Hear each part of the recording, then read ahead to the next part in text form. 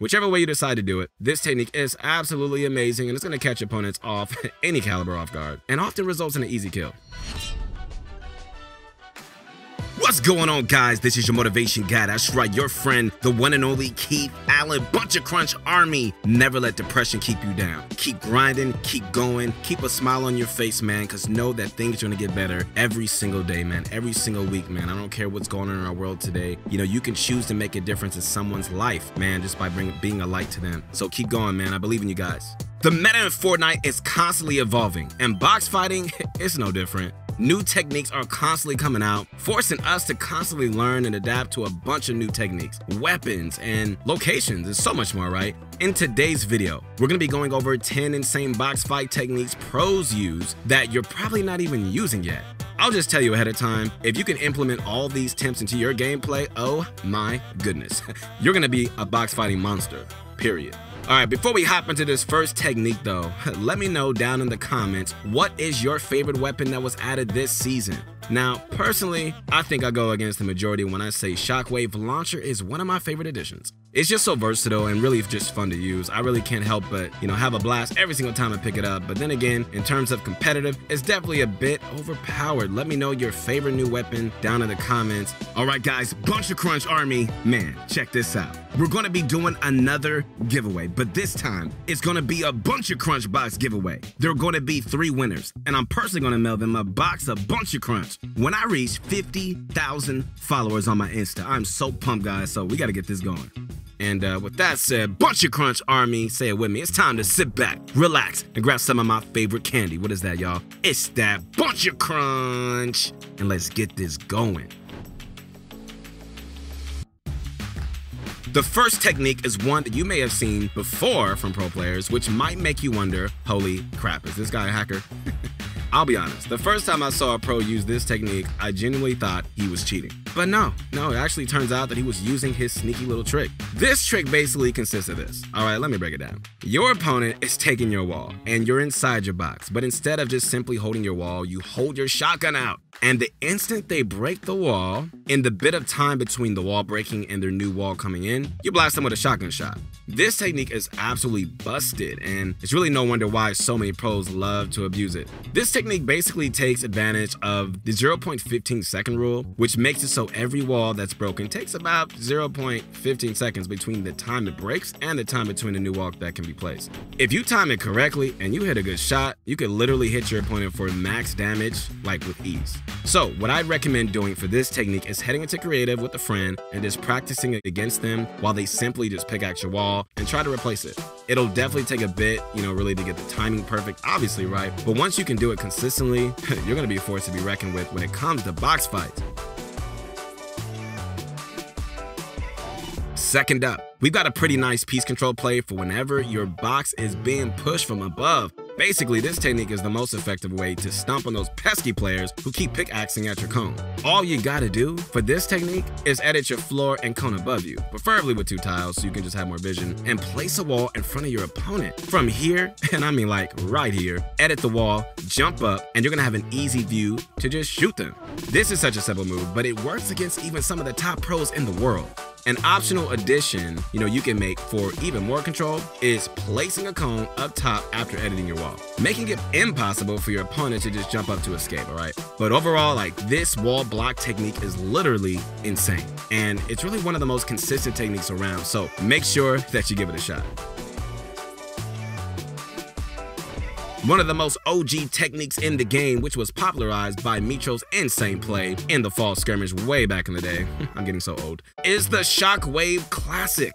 Basically, the Shockwave Classic consists of using the Shockwave Grenade, or in this case, the brand new Shockwave Launcher, to blast yourself through your opponent's builds and into their box. You can do this vertically by sitting up above your opponent's box and just shooting the grenade onto a floor above you, or horizontally by setting up a few boxes away from your opponent and shooting the grenade to a wall next to you in the opposite direction of your opponent's box. Whichever way you decide to do it, this technique is absolutely amazing and it's going to catch opponents off any caliber off guard and often results in an easy kill. Next up is a technique that we only refer to as the 200 IQ fall damage play because, well, it is. This technique is really best used when you're in a build fight, especially if you're quite a bit into the sky, at least high enough for anyone who falls to die to fall damage. All you gotta do for this technique, guys, is just really be on the low ground in a box and predict which side your opponent is going to push your box from. On that specific side, edit your wall into a bottom triangle and select the two front tiles of the floor.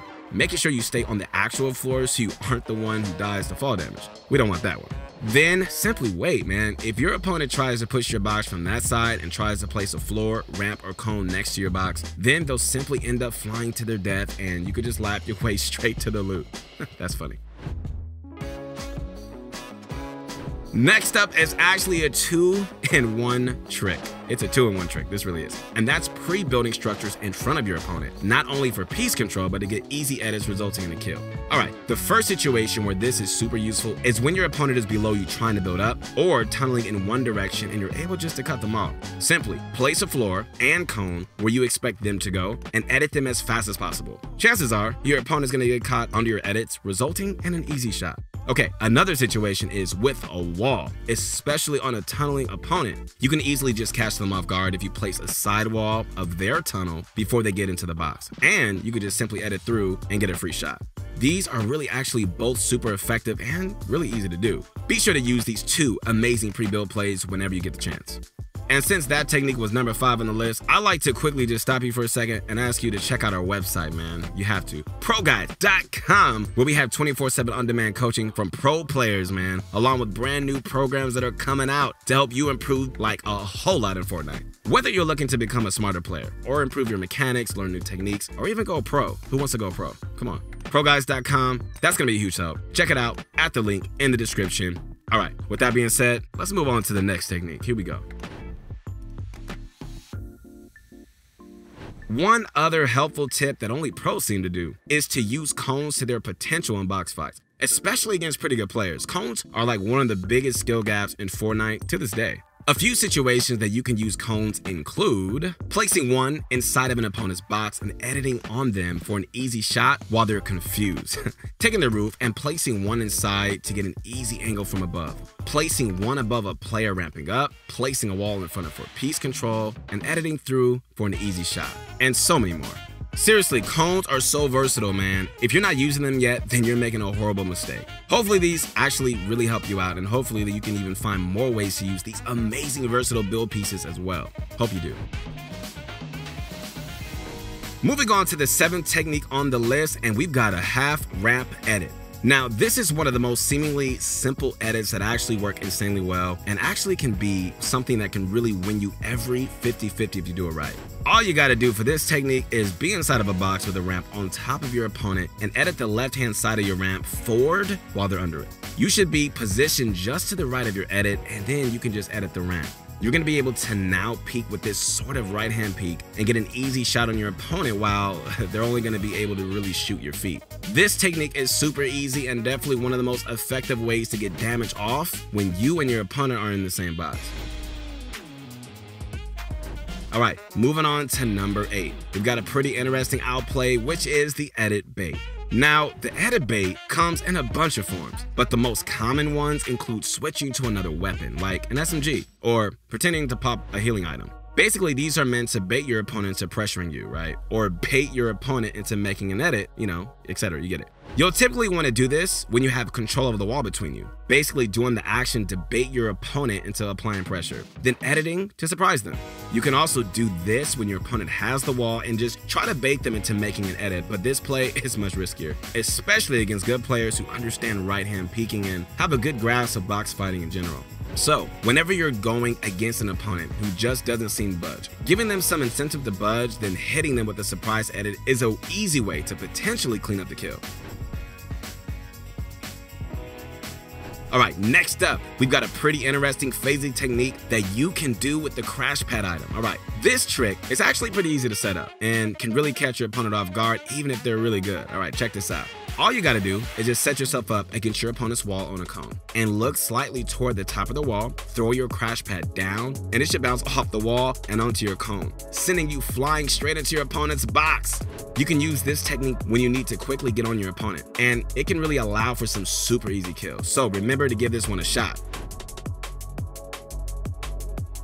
finally, the last technique that we want to cover in this video is the classic ramp phase. All right, this technique has been around for a little while, but still, it works beautifully. The way it's typically done is that, you know, you let your opponent take your wall, then quickly turn around and place a ramp above your head in your box. Go all the way to the back wall and flip the ramp so your feet faces straight through it. The ramp should turn yellow if it's done correctly. Then you can simply shoot straight through it. If your opponent doesn't realize what you're doing, you can just easily get upwards of 100 damage off and really just clean up the kill from here. This technique is so darn helpful. Yes, I just said the word darn is actually my second favorite word. And I seriously recommend giving it a shot. Even though it's been shown before, it still works amazingly well, even against high level opponents.